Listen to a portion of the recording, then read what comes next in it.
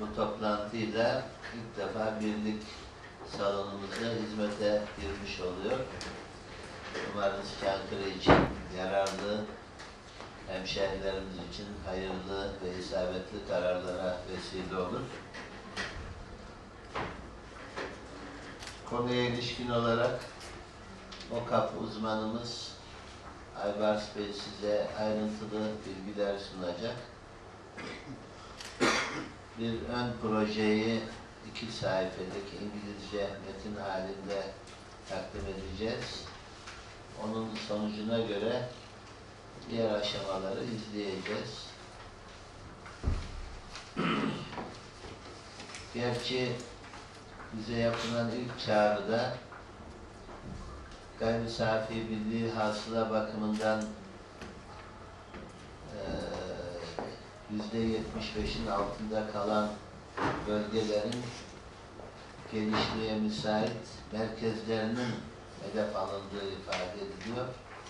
Bunlarda 12 il yurt içi gayri safi hasılada yüzde yetmiş beşin altında yer alan ancak Doğu Karadeniz, Doğu Anadolu ve Güneydoğu Anadolu'da büyük illerin hedef alındığı yerlerin biraz daha avantajlı olduğu düşünülüyor.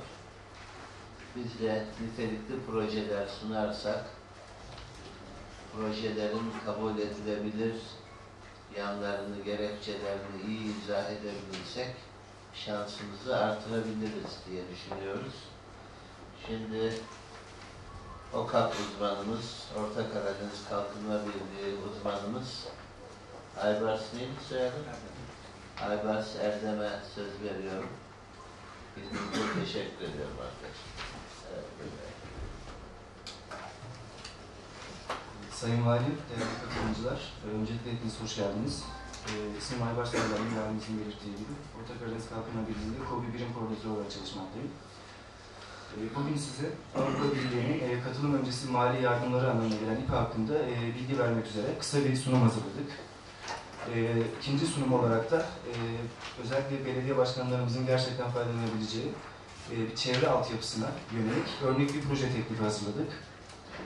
E, ilk olarak e, İPA yani katılım öncesi mali yardımlar nedir? E, öncelikleri, bileşenleri, kimler faydalanabilir? E, ve projeye ilişkin bütçe sınırları nelerdir? Bunlar hakkında kısa bir bilgi vermeye çalışacağım. Katılım öncesi mali yardım aracı nedir? E, AB mali yardımları Avrupa Komisyonu tarafından diğer aday ülkeler için olduğu gibi her yıl Türkiye tahsis edilen, tahsis edilen hibe programı yardımlarıdır. Bölgesel gelişme ve insan kaynaklarını geliştirme bileşenleri için hazırlanması gereken stratejik çerçeve belgesi İPA'dan yararlanmak için belirlenen öncelikleri içerecektir. Dolayısıyla şu anda e, sunmayı düşündüğümüz ön teklifler aslında stratejik çerçeve belgesi içine sokmaya çalıştığımız kapımızdaki yatırım fikirlerini oluşturmaktadır. Kalkınma, aday ülkeyi üye olduktan sonra faydalanacağı yapısal fonların kullanımına hazırlanma etkisi açısından önemlidir. Öncelik alanları, ulaştırma, çevre, su, atık su ve hava kalitesi konularıdır. Bölgesel rekabet edebilirlik.